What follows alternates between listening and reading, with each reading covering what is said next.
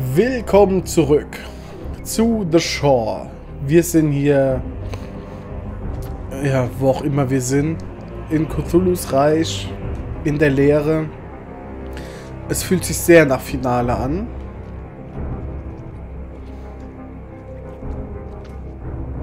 Und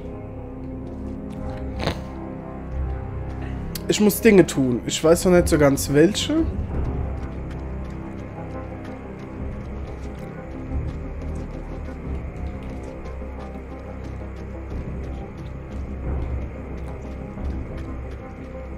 Er hat gesagt, ich soll irgendwas mit den Köpfen machen.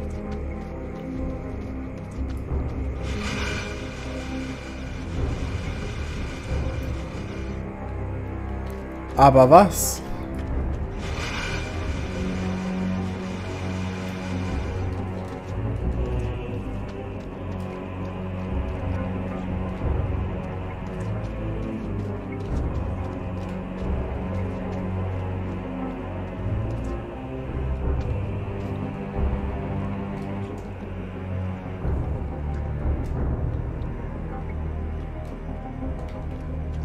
Was muss ich hier jetzt machen?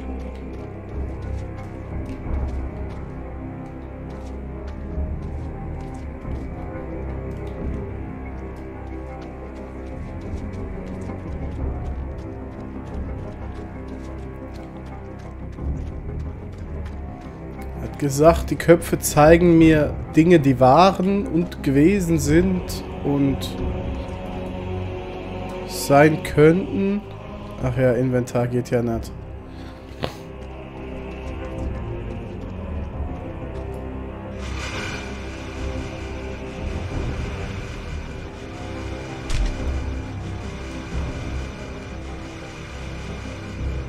Hä? Ach.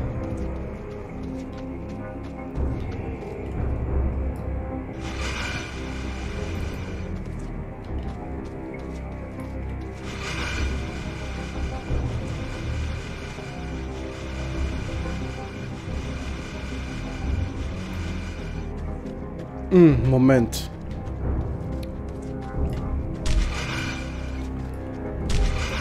Da kann ich ja absolut von Glück reden. Entschuldigung.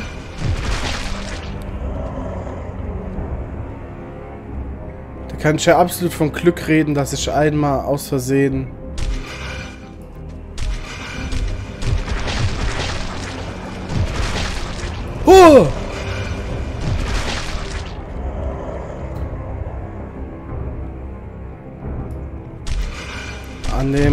Pyramide vorbeigestrahlt habe.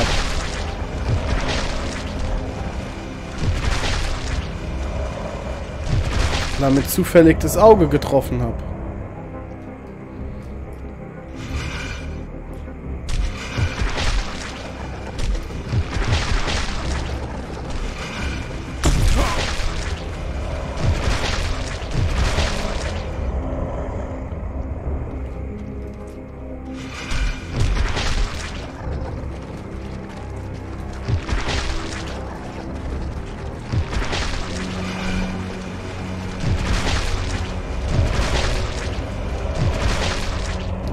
Da mache ich die großen Köpfe lieber als letztes. Oh, kommen die jetzt ständig?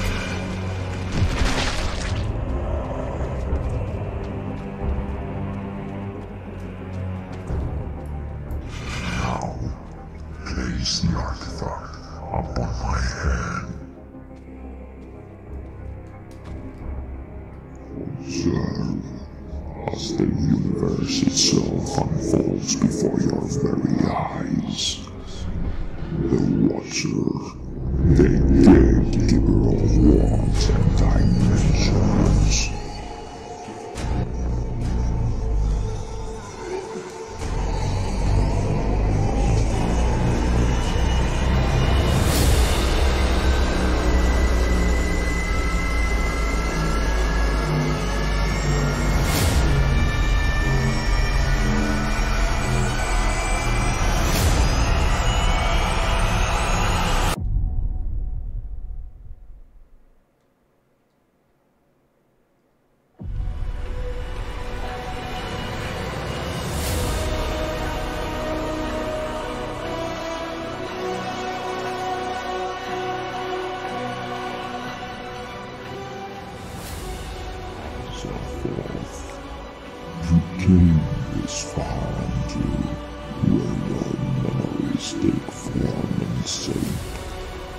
Careful, don't lose yourself, but in the end, it is all part of this dream.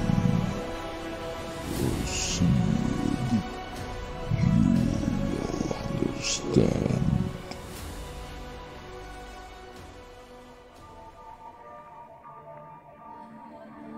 Alter, sieht das krass aus.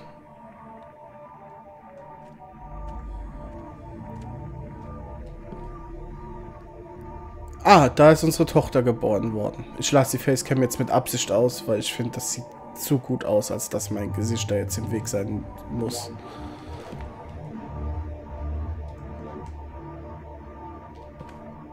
He's beautiful, a perfect boy. That's what we ask for. We should name him Andrew.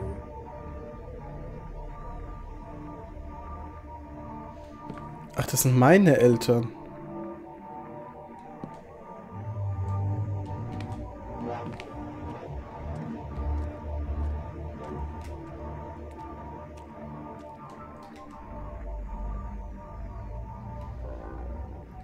Great entity, accept this boy out of your causality. Accept this offering.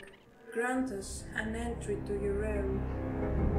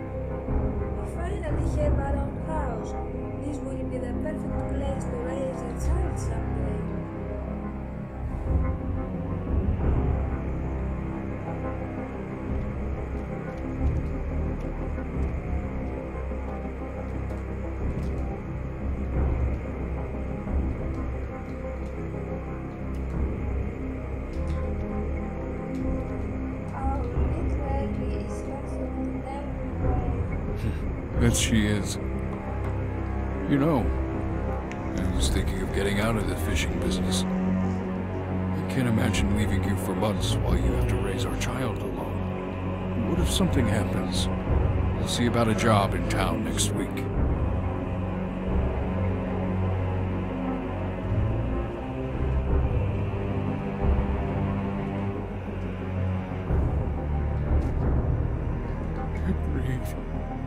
Breathe. Stay with me. Stay with me, Martha. Ellie needs you. I need you.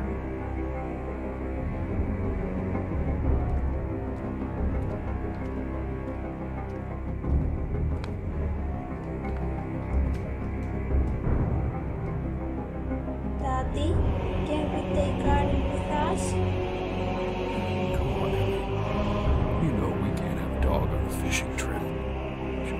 okay here. Come on, get your stuff in the boat, Ellie.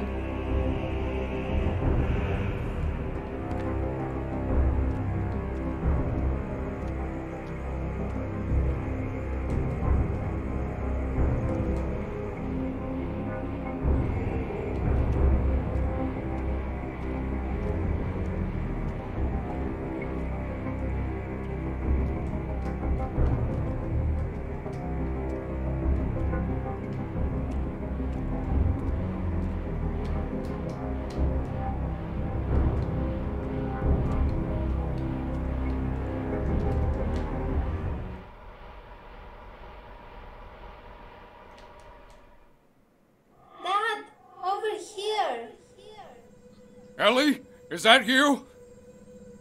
Ellie, stay right there, I'm coming. She is not your daughter, Andrew. She was never real. What? What do you mean? She was never real. Since the beginning, I felt that the only way to enjoy this boring reality was to change it. But I was in need of someone. Someone with purpose. You see, all the people I brought to the island had no purpose, no meaning. But you, Andrew, you are my favorite. I made those memories for you. I created a daughter that you never had. I was always there for you. No. No. It's not possible. Lying to me. I did what you asked for. I'm getting her back. Perhaps there is still a way to make her real if you manage to reach her. Your strong will can influence Azathoth's dream. What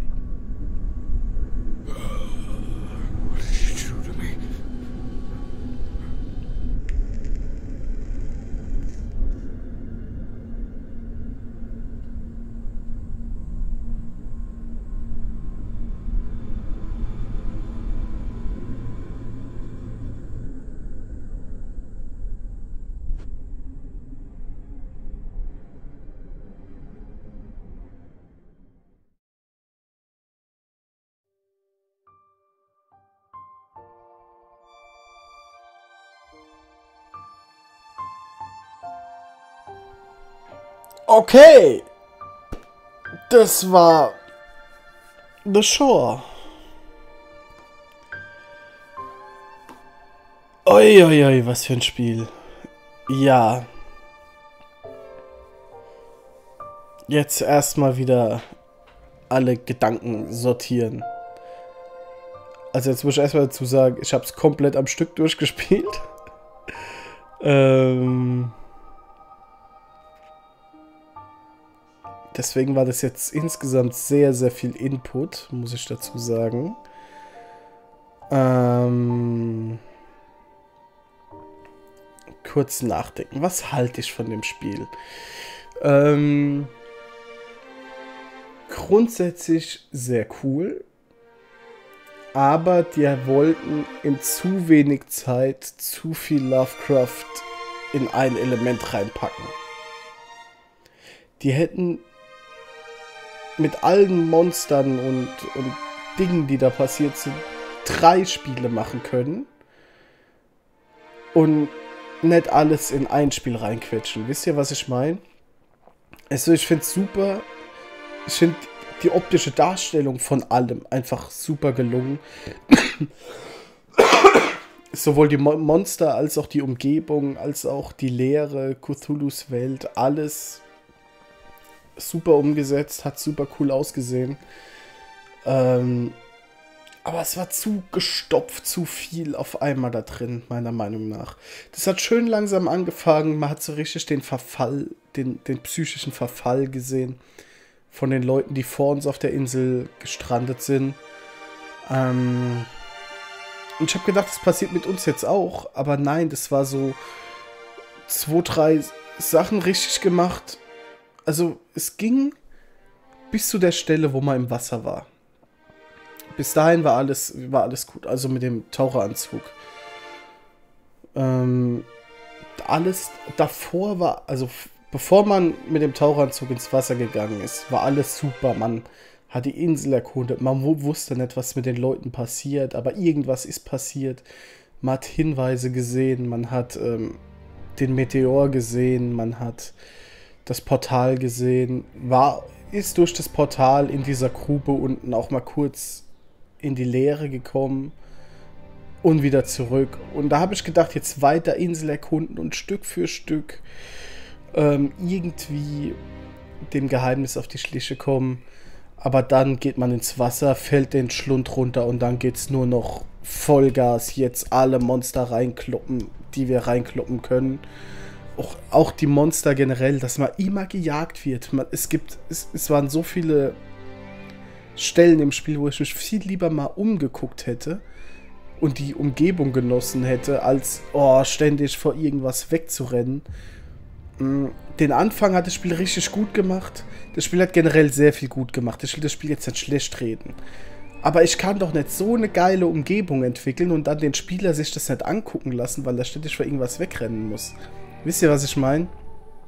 Ich hoffe, ihr versteht, was ich meine. Äh, soll nicht heißen, dass das Spiel schlecht war. um Gottes Willen. Ich fand's cool. Ich fand's sehr, sehr schön. Es war mal ab vom Mainstream. Das hat einfach sein Ding durchgezogen. Das hat's auch super gemacht. Und da hinten.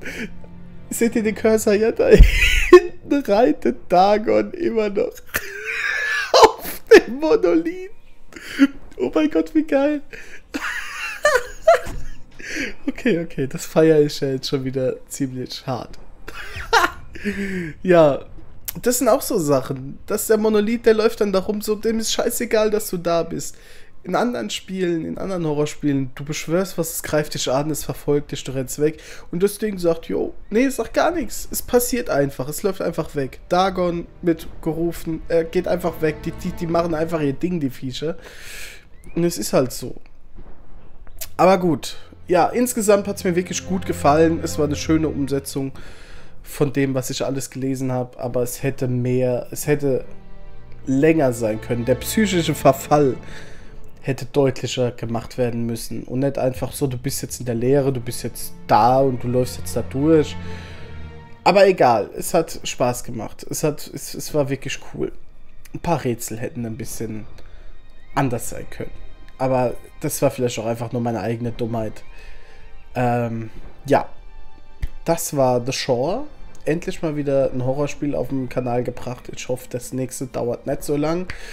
Und ich bedanke mich bei allen, die es sich angeguckt haben. Ähm, und hoffe, dass ihr auch beim nächsten Mal dabei seid. Ich schreibt mal jetzt auch mal eure Meinung zu dem ganzen Spiel in die Kommentare. Interessiert mich wirklich. Und ja, ich verabschiede mich. Bis zum nächsten Mal. Haut rein.